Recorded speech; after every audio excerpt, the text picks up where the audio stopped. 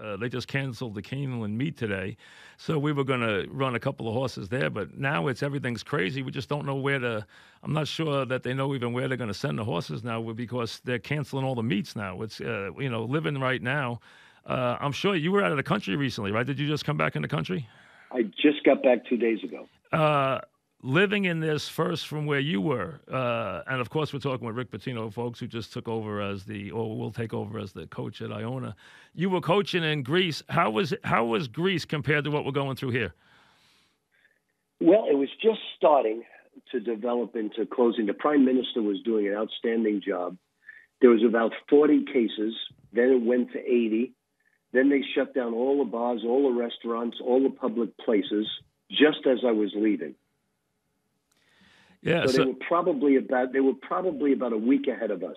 Gotcha. So I mean, we're seeing as as the world goes through this day by day, and we're watching as you know we've never lived through any. I mean, I can can you imagine? You know, uh, as you prepared for March your whole life, can you imagine an NCAA tournament not being played? I mean, can you imagine a Masters not being played or the Kentucky Derby not being contested? It's hard to fathom what's going on right now. It really is.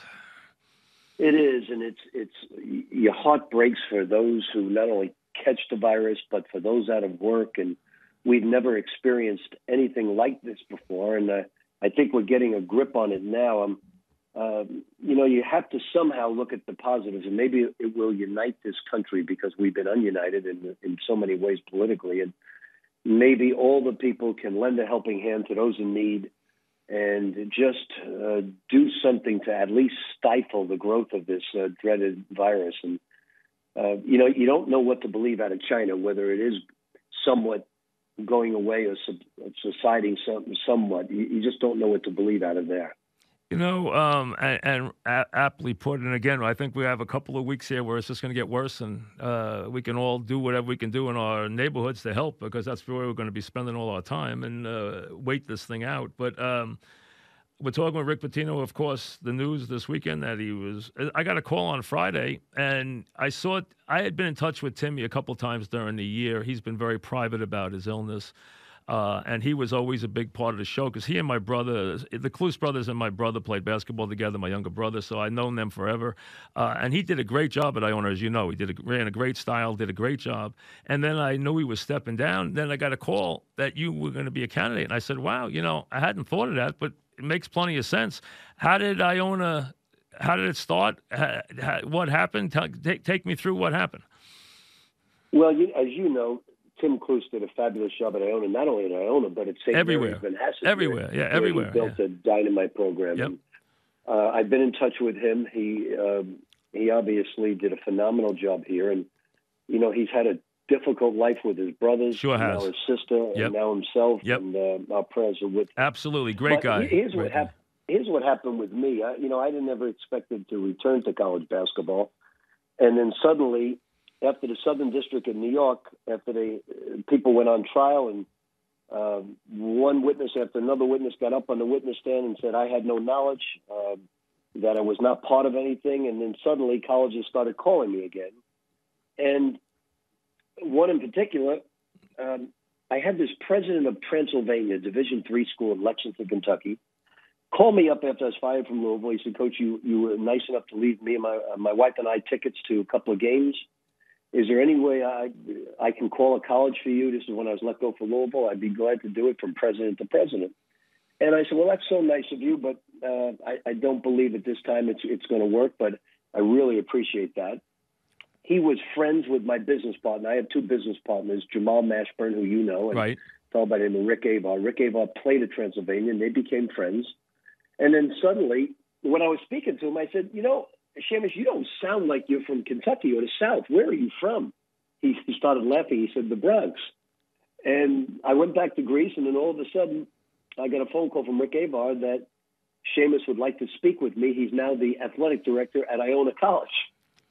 How wild so is that, that? was the genesis of the whole thing, and and he knew all about me from uh, personally, and professionally. knew knew my wife. His wife sat next to my wife at games, and so he said that unfortunately we're going through a tough time, and uh, Tim is sick, and um, and he's going through some tough times. This was like the tail end of February, and um, And I said, "Oh, that makes me so sad." And he said, "Would you be interested?" And I said, "Well," I said, "Why don't you get? Let's see what happens with Tim." And he said, "No, Tim is not going to be able to coach anymore." And so they worked everything out with Tim. He came to me and said, "Would you take the job?" And I got a I, I went I got a contract and it was hysterical because it was probably two pages. I was used to like 16 pages, and uh, then I looked at the buyout and I called him back. I said, "Is this serious?" And he said, "Yes." I said, "I said okay. Um, let me think about it." And I thought about it. I thought it would be an unbelievable way to end your career, be, going back to New York. Uh, I remember Dick Vitale when I called him telling me that Jim Valvano said the best years of his life were at Iona College and I know the best two years of my life in coaching out of 30 plus years were Providence College. So I wanted to go to a small Catholic school. It was perfect. Uh, Tim did a phenomenal job, and I'm hoping to build on that. And um, let's see where it goes. You know, it's funny you, you mentioned that. Uh, we're talking with Rick Pitino. Uh, when St. John's opened last year, I thought of it, but it was probably too early. Um, and you know, there was so much going on. But I go back to you mentioned Valvano at Iona. I remember those teams with Ruland and Vickers and those guys uh, and his years there. I knew him when he was there. I knew him before he was there. I knew when he was at Bucknell. So, I mean, I knew him going back that far. And I remember your teams well. You know, people might not, it's a long time ago, but I mean, you did an incredible job at Providence. Billy Donovan, who obviously has gone on to be this, you know, tremendous coach in his own right. But, you know, the whole thing, taking that Providence team, that unlikely team to the Final Four, you know, you had a great team at Kentucky. It was an all-time team. There's no question. But uh, you probably never did a better job than you ever did at Providence. I mean, Providence was an amazing job with a bunch of kids who were underdogs, who, you know, played really hard, who you got into great shape, who you developed players. You like to develop players. Uh, probably was the a perfect team for you, and that's probably what you'll use as your your model, right? Yeah, because you know they were dead last place for seven straight years since the inception of the Big East. It was a great group of guys, and I, I got very lucky because the three point line came into play. Mm-hmm. And the first five Big East games, Mike, the the opponents that I played against didn't take more than five threes in a game, and I was taking 18 to 22 per game. So I got very lucky. We led the nation in three point shooting. That was the first year it was it was utilized, and um, and it was great. Uh, we to this day I'll never forget those two years. And now I get to relive, you know, no facilities at Providence, just a gym, just the ball. And now you go to Iona, same type of feeling. I wanted a small Catholic school, um, and to end my career, and it, it, it just happened, and uh, it, it worked out great and coming back home too. So I mean, you know, I know you, yeah. you know, you you know the area so well. You uh, you own places. You live. You have places to live around here. You got golf courses around here. You got everything right in your backyard. It's it, it is your backyard. So it's like coming home. Yep, I live in Manhattan. I'm, I'm a member of Winged Foot, ten minutes away. I'm, my son lives in Harrison, ten minutes away. I have probably 30, 40 friends that will buy season tickets, and it is awesome. And it's also has because of what Tim has done and and think about this, Mike. Every coach that's coached there, from from Jimmy Valvano to Timmy Welsh um, to Kevin Willard, Tim Cluess, every one of them has had great success, and every one of them has loved it. And so uh, it, it's very exciting for me because I, you know, I went through two and a half years of coaching in another country. I've been blackballed out of the business, rightfully so, by the way, because until that, when, I, I shouldn't say blackballed. I've been kept out of the business because that trial uh, they took it they took the time with the trial and not to the trial uh, St. John's couldn't take a chance at me. Nobody could take a chance until that trial. And once the trial happened, and everybody, one witness after another, got up from Adidas to the father and said Rick Pitino knew nothing about it, was I an open candidate? So um, it took a while, but I was very happy to be in Greece. I learned an awful lot about a different brand of basketball, which will help me going forward. And coaching pro ball in the EuroLeague was an exciting experience. You can bring a lot of your. Will it help you? Will you go find players over there? And you know, a lot of schools do that, especially smaller mid majors. If you want to call Iona a mid major, they're kind of a higher level mid major, but a mid major. you know, you can bring kids in. Uh, will you be at an advantage having been over there, where you'll locate some kids who can come over here and help you? Well, there's one reason why Gonzaga has been great throughout the years, and that's because of the foreign talent that they get. and certainly Turkey has three teams in the EuroLeague. Um, I'm, I'm going to go into Serbia, go into Turkey, and really, really hit the foreign market hard. We've got to bring in seven players this year, Mike. We only have about four guys coming back. Right. We got to bring in seven players. You know, the program is not where Tim Cluess had it, and we've got to. They are going to pass a rule that allows a, a, young man to transfer and play right away. Right, because of this year, you're going to gain a year of eligibility for this year, right? You're allowed to because yep. this crazy year, kids are going to get to come back. Uh, because you know, you think about well, a team. No, no, I'm talking. I'm talking about they don't have to sit out anymore. Oh no, I know that. Yeah, rule. too. But also, yeah. if, if, you, I didn't know if you'd had any kids who were seniors who would get a chance to get another year. They're talking about giving kids another year of eligibility too. Yeah, I think I think the seniors in the program here have to move on. Oh, okay. Um, you know, they they did a good job, but they need to move on. So you're going to have you'll need seven new players uh, next year. So you're going to go, you can scour and go find some kids. What was it like day in and day out in the league you were in? How, how would you? What level of basketball was the league you were in that you were coaching in? It's like playing with second round draft choices. Like I had Wesley Johnson from Syracuse, and I, I had Tyrese Rice from Boston College, who was a EuroLeague Player of the Year. I had Nick Calathes, who's a great player from Florida. Um, I had a young man from Texas, young man from Wake Forest. It would be like Division two draft choices who are the ages between 27 and 35, and not Division two. Um, um, uh, draft uh, guys who were drafted in the second round. Second, second round. round draft choices. Okay. Draft choices who are now 27 and 35, older, wiser, more humble. Great, great brand of basketball. Great brand of basketball. And traveling to Moscow, Berlin, uh, Germany obviously has two teams. Uh, Spain has three teams. Awesome experience in Madrid, Barcelona, the Gran Canarias last year, Moscow, Istanbul, Lithuania, um, Serbia, and the crowds were incredible. Did you coach your a, typical style, or did you make changes to, in, in the way you, you know, coached? To, totally, totally different. Like, like I, if I was coaching uh, uh, the next pro team, I, there was no pressing. There was some full court pickup, not much more half court basketball, more um, motion offenses, just great offenses. Really learned a lot about motion basketball within a framework of 24 seconds. How about the idea of we're talking about Rick Pitino? You know, there's nobody who has been better at developing kids who might be you know, guys who can get better, who might not be stars, who you were always very good at developing kids. I know you worked very hard at that. You used to work them very hard during the days. I know some of the stuff you use, the regimen you use with that stuff. Uh, that's always been a great strength of yours. Uh, that, that's something I'm sure you're going to utilize now going forward with this for, as you build this program, right? Yeah, but I never. I had a different formula than say Duke or Kentucky. You know, Gorgui Dieng was ranked 90th in the country. Um, Terry Rozier was ranked 78th in the country. Donovan Mitchell was ranked 55th in the country. Russ Smith wasn't even ranked. So I went after guys with a chip on their shoulder who thought they were being passed by, who had something to prove. They were very athletic. Montrezl Harrell, perfect example. He was ranked 90th in the country. Uh, guys like that who had athletic ability, who were hungry to prove everybody wrong. And I'm going to try to do the same thing at Iona. Get after hungry guys who have something to prove they're really uh, into player development, really into getting their offenses better. And I, I think that that formula has worked throughout my career, and I'm going to certainly try it again at Iona.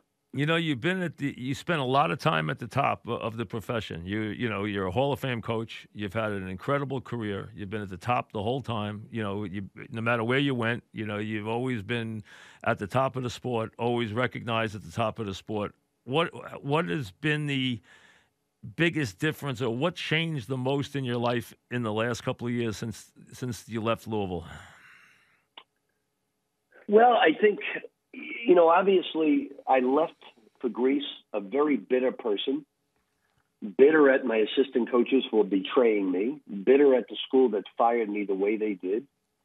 And today, uh, two and a half years later, I've I forgive my assistant coaches because we we grew up and and you grew up the same way I did in going to Catholic schools and we were we were taught to forgive, but being Italian, we never forgive. and uh, and uh, now, two and a half years later, um, I've, I forgive those guys that betrayed my my principles. I I totally agree with the University of Louisville firing me. That even though I didn't I, I know I was totally. Um, eight, they interviewed 80 different people, and the 80 people said the same thing. He had no knowledge of anything going on, but I was the leader of the team, leader of the of, of the business, and I had to take responsibility for people doing wrong. So uh, I left that bitterness in Greece, uh, left it behind me, and I'm looking forward in a very positive way at taking on a great challenge at Iona. Would you rather coach if you had had an opportunity? Would you have rather coached on the college level or coached on the NBA level if you had had both opportunities? I think I think I get more out of building a Billy Donovan or developing a Jeff Van Gundy, uh, who was my first graduate assistant at Providence, or developing a Kevin Willard, Mick Cronin, Tubby Smith, Steve Masiello, 30 coaches that have gone on to. Uh, I coached Brett Brown in the Sixers. I coached Frank Vogel was my manager at Kentucky at the Lakers. I coached Rick Carlisle at the Knicks. Um, you know, I, I coached obviously Billy. I, I just think I get such a great thrill out of developing coaches, developing guys, players into, and not only the pros, even if they have to go to Europe, but just developing people. Um, to me, that's the the ultimate. And right now, at my age, coaching in Iona is a perfect way to go out uh, for a coach. Just developing young men, maybe playing in the Euro League, maybe playing in the Euro Cup, uh, maybe getting a few to the NBA, maybe building young men into business people. Uh, I have so many guys out there on Wall Street that I coached that I'm very proud of. A, a, an article yesterday about Jay Twyman, Jack Twyman's son, who uh, had a successful business career, and I was so proud of him. Um, so just just trying to build young people into being solid citizens, solid people with a work ethic that is second to none in their lives. What are you still i mean i know you still love coaching. I mean listen when you left my studio that day i told everyone you left when you left you'll coach again. And i and you said you wouldn't but i said he'll coach again because you know what? That's what you do. You're a coach. I mean that's that's a void you can't fill. And you know john madden told me a long time ago years ago he said I found something else to do. If you can't find something else to do, you're always going to come back to coach because there's nothing that else fills that void. None of you guys can fill the void. It's what you do. You coach. I mean, I broadcast. You coach. I mean, that's what you do. You do what you do, and that's who you are. You're a coach. I mean, so that's why I always thought you'd come back and coach again because that's that's what you do. That's how you express yourself. Well, think of it, Mike. How many people would who have never coached in the EuroLeague, never been to Greece, would pick up on Christmas?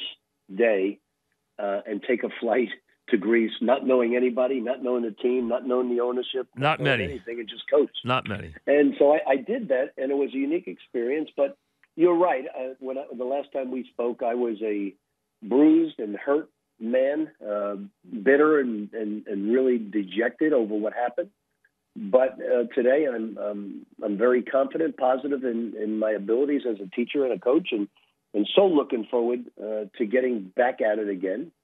And um, it, it, you know, it, you you have to learn along the way. You learn every step along the way. And my son, I, I've said this over and over. My son gave me the greatest piece of advice after I wrote the book. He said, "Dad, get over it. You're not going to convince those who don't want to believe that you're innocent. You're not going to. You're not. You just have to understand the people you've coached and the people you mentored as assistant coaches." They're the ones who know the truth. Don't try to convince anybody else He's right. with your life. He's right. Yep. He's very and, right because you, are not going to convince other people. You know what? You can't even bother. You can't worry about everybody else. You just got to live your life. No. That's all you can do. And if they don't want to believe it, they don't want to believe it. That's all. They, you know, you can't worry about it. And you know, listen, part of being successful is you're going to get criticized. That's part of the deal. Okay, that's no matter what the walk of life is. That's the way it goes. People are going to be out there, and they're going to always take shots. You just have to understand that, and you just don't let it bother you. Just go forward. That's basically it. You know. So I mean, I, I think it's a I think it's a fun. Uh, you know, it's funny. They're used to they're used to an up tempo style, and as you said, they're used to winning. I mean, you know, uh, Timmy he won every year there. I mean, you could see the void this year without him. I mean, they were they were they were like fish out of water without him this year because every year he won. Every year, he, no matter who the kids were, he won. He won 25 games. He went to the NCAA tournament. He did a great job. He did a great job, and and you're one of the few guys who could walk in there and fill his shoes. Yeah, but he did it with class. He's I texted with him and you know, he he he, was, he had a fun style. He, he did. a great teacher. Yep. He was a terrific person. Everybody loved him, and it goes back to you know all those guys. Every single guy that coaches at Iona Yep. loves the place. Yeah, it's And true. It's because it's an old take care of people. basketball school. It's an old time basketball school. As you said, it's a, it, they like basketball, and it's a it's a school with a great you know tradition. You know, going back to Richie Guerin and uh, whoever, it's got a great tradition of basketball. It always has, and they've always been very successful. They always have, and it's a it's a good spot to be in. It's a good league. It's a very competitive league. Uh, and you know, and you and you get to play here too. You get to play in New York, which makes it a lot of fun because you know what? In New York, you know everyone gets noticed. All you got to do is win, and everybody gets noticed, and you're going to get noticed anyway. I mean, that's just the way it is. So it's a good place to come home to. It really is. Yep, no doubt. And you're not that far from Saratoga either. Although you're Yeah, never you're never you too know- far from Saratoga anyway. But you know, you know, I haven't lo- I haven't lost any money in a while, so now I get to do that again. well, you know, listen. Hopefully, that hopefully there is a Saratoga to go to this summer. We can see a couple of our two-year-olds run up there this year because the way things are going, I hope they have a meet by the time we uh, get the summer going. How will that How will that impact you getting started? I mean, will it, have you thought about that yet? How this will all impact just getting yourself together and getting started on this on this journey here? Well, think about this. I'm going to have to sign seven players without ever any of them visiting campus. Wow. So, and you know, I did that in Louisville. Have you have you hired a staff already? Have you got a staff? I've I've hired two players, uh, two coaches so far, but they have they're going through the typical um, human resources and, and going through that thing this Okay. week. And by the end by the end of next week, I'll have my whole staff complete. Okay. and um, and so it's it's going to be difficult to do, but I, I think I can do it. I've had I've had a lot of people reach out to me saying they're interested. Now I've got to watch film on them and and go to work on that as well, and make sure you take the right players, the right people. So you got guys calling you up, sending you players already. So you, and you have enough Yes. guys out there. I mean, you have guys, as you said, you got guys everywhere in America who who you coached, whether they're players or assistants or whatever, uh, and who are head coaches now, who are all over the world. I mean, you have coaches all over the world. So I mean, you got guys everywhere. Yeah, I, I, I do think that's a big number to have to fill, but I actually don't think uh, we'll have a problem filling it. It's just got to make sure we do the right evaluating because you know you make one or two mistakes evaluating and it, it really really hurts you. Will you play the typical Pitino style of of of, of college ball? Will you be the typical Pitino team? No question about it. I'm, I, I missed it. It was like my best friend, and um, I, I'm, we're going to get back to playing an up tempo style. The good thing is Iona people are used to Yeah, they are. basketball Yeah, the they same are. way I play, and Yeah.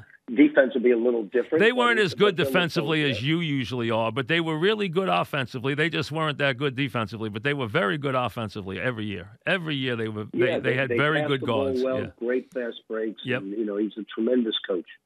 And uh, so you got a staff and have you have you zeroed in on your first player without telling us who he is? Have you zeroed in on a player yet or you haven't signed one yet?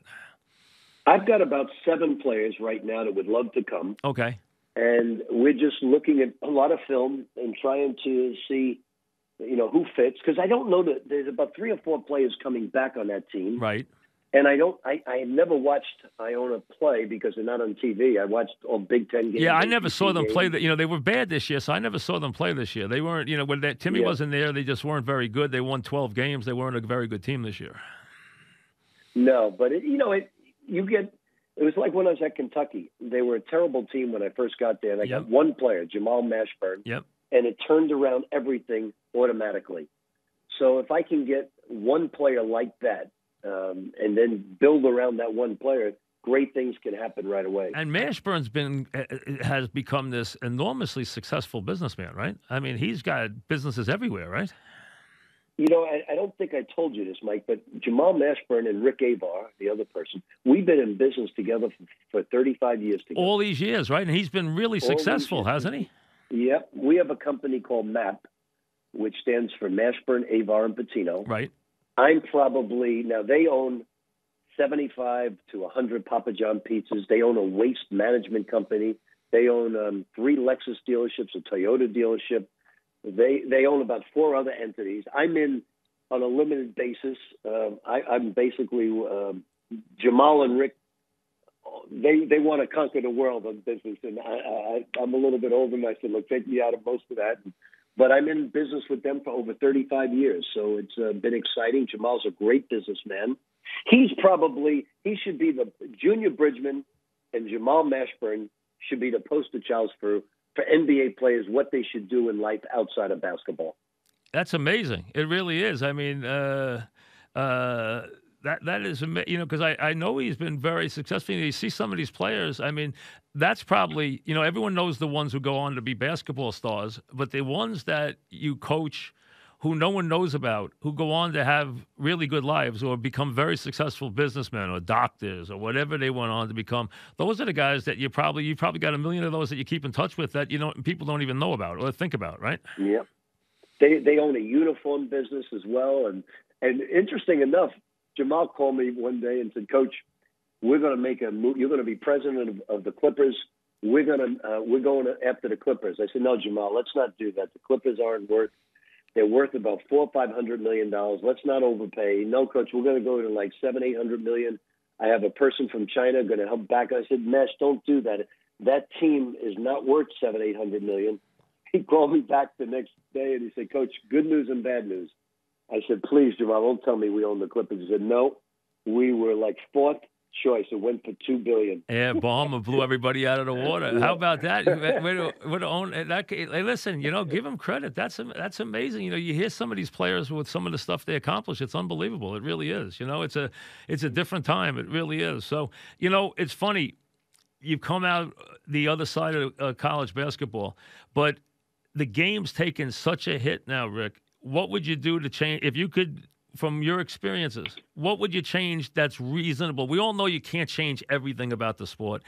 You just got to make some real smart common sense rules that everyone can live with. What's the thing that has to change for it to get better as far as the whole dealing with? I mean, Beilein gets out because he can't stand what goes on with players and recruiting. And then he goes to the pros. He doesn't like it there either. So he'll probably come back to college. But they got sick of the whole process. All these guys are sick of the process. We all know it. It's a bad process. What can change that's reasonable without it having to be, you know, like it's never going to change where it, doesn't exist. We all know that. It's a big time profession. It's a big time sport. But what can happen that's reasonable that can get the sport back under control?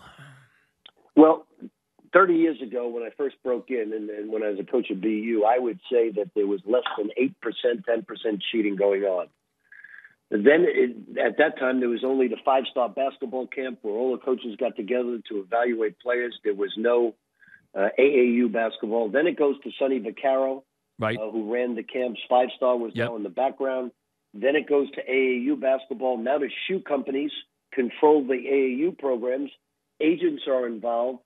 Uh, now the shoe companies have infiltrated every university and pay them two to three hundred million dollars in the Power Five conferences. So, anytime you have that type of money being involved with each program, about ten percent of, of, of those entities could be corrupt at a very high scale. And, and you re, you heard about the 50,000, 75,000, 100,000. So the best thing that universities can do is share the wealth, cut the rule book in half, and say, okay, let the players have their own shoe deals. Oh, they say no, you can't do that because the colleges have their own deals. Well, get away from that. When it runs out, let let the players have their own shoe deals. Let them have their own identity. Let them go to the Olympic model, and let them um, let them utilize their names. Let them do commercials, and you may say, well, then the rich get richer. Well, that, that that's that's that's the way it is. There's no way around that anyway. There's no. no way, you're right. You stop you're, the cheating. You right. stop the cheating. If I'm if I'm an Alabama football player and I can do a commercial and right. I can I can sell my name and sell my rights, I'm not going to be in a rush to get to the pros because I'll be able to give money to my families and help them out in life and let them let them do the Olympic model. That's the best way to do it because you're going to see this.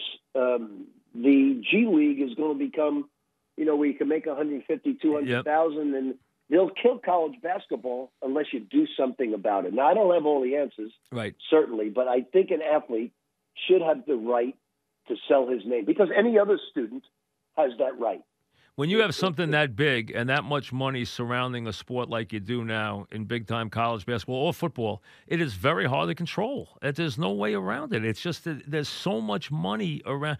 There's so much money around these sports now that you know it's going to infiltrate and it's going to make it that much tougher. So anything you can do that makes it transparent is going to help. I agree with you. And the players Yeah, have- have reached the point where they guys- should get paid. There's no question. You have people caught on wiretap saying, "Well, we'll give them this much money and give this much money and this much money." Well, if they wouldn't have to stoop to those ugly levels if the players had a right to go out and, and have a shoe contract themselves, sell their name, sell their likeness. That type of underhanded stuff wouldn't go on. It makes sense. It does. I tell you. Uh, but you're not going to have to worry about those guys. They're not going to go to Iona anyway. So you know that's not the start anyway. So you know they might leave there that way. But you know that's what. But you, you'll. You, that's what the idea is. Now you got to go make uh, find a little point guard and make him into a star. That's what you look. That's what we'll watch happen. You got to go find a little guy or find somebody in the backcourt and turn him into a new star in New York. That's what. Hey, New York needs some good basketball right now. So uh, you know it, it'll be fun to watch. Well, I'm look, I'm so looking forward to it, Mike. I'm, I'm I feel like I'm I'm 27 again, and Good. uh, I wish I was, but I feel like I am. We all wish we were. So, you know, but good. Yeah. You know what? Listen, I'm glad you're back. Good for you. And uh, hopefully, I will see you along the way and we'll get to see our horses run in Saratoga this summer. So, I hope to see you up there and hopefully, there'll be a Saratoga. So, stay well, stay healthy. We'll see you along the way, okay? Thanks, Mike. Take care, of Rick. yourself. Okay, you too. Bye. Rick Pitino, back after this.